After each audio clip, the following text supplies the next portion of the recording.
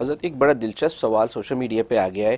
یہ یہ پوچھ رہے ہیں کہ غیر مسلم جب اپنے خداؤں سے دعا مانگتے ہیں اور ان کے وہ کام بن جاتے ہیں، تو ان کا عقیدہ تو اور پکا ہو جاتا ہے کہ دیکھو ہمارے اس خدا نے ہمارے کام بنا دیا۔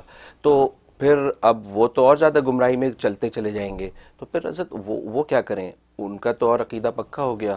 جھوٹے خداؤں کی وجہ کیا ویڈیو دیکھنے سے پہلے ویڈیو کو لائک کریں رحم ٹی وی چینل کو سبسکرائب کریں اور بیل آئیکن پر کلک کریں۔ شکریہ۔ اس لیے کہ اللہ تبارک و تعالی خود کہہ دیا ہے آنا اندہ زنی ابدی بھی۔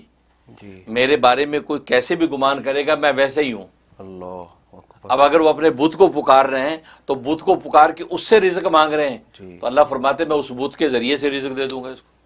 اچھا۔ جو آدمی اپنی دکانوں کو خدا سمجھ کے بیٹھتا ہے راضی سمجھ میں اس کے ذریعے سے اس کو رزق دیتا ہوں۔ جو بندہ کہتا ہے یہ شراب بیچنے سے مجھے میرا رزق چلے گا تو میں اسی اسی طرح کر دیتا ہوں۔ کیونکہ اللہ تبارک و تعالیٰ نے تو سرات مستقیم کو واضح کر دیا۔ کم و بیش ایک لاکھ چوبیس ہزار نبیوں کے ذریعے سے معاملات کو واضح کر دیے۔ ہیں بالکل۔ لہٰذا اب سچا جھوٹا بالکل واضح ہے۔ جی۔ اب بھی اگر آپ راستہ وہ دوسرا اختیار کرتے ہیں اور بدھ کے سامنے کھڑے کو پکارتے ہیں اور آپ کا کام ہو جاتا ہے اور آپ کہتے ہیں بدھ سچے ہیں تو یہ آپ کی حماقت ہے۔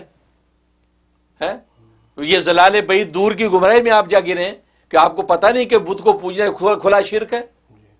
لہذا یہ تو اللہ تبارک و تعالیٰ نے دنیا کو رکھا ہی ٹیسٹ اسی طریقے سے ہے کہ اللہ تبارک و تعالیٰ اس غیر مسلموں کو بھی کام کر دیتے ہیں مشرق کو شرک کے راستے سے روٹی دیتے ہیں واحد کو توحید کے راستے سے دیتے ہیں، اسی کو تو ٹیسٹ کہتے ہیں۔ اگر یہیں پہ سارے معاملے کھل جائیں اور پتھر کے بت کو پکارے، ملے کچھ نہ۔ جی۔